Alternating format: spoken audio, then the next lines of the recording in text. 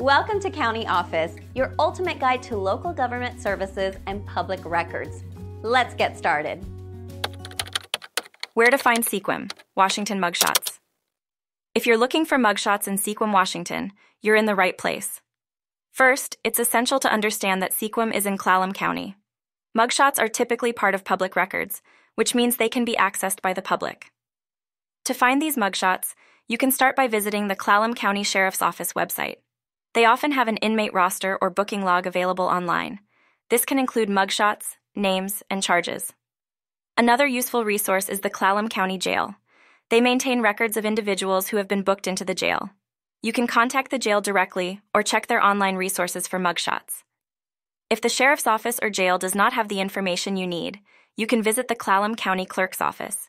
They maintain court records, which can include mugshots as part of the case files. For a more comprehensive search, you can use online databases that aggregate public records. Websites like countyoffice.org provide access to various public records, including mugshots. Remember, accessing some of these records might require a small fee or an account creation. Also, ensure you have specific details like the full name and date of birth of the person you're searching for.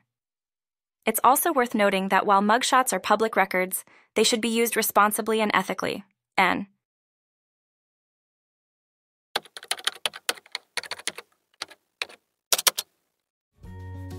To learn more, check out these links, which you can click in the description below. And feel free to comment your questions. We're here to help. Thanks for tuning in to our video.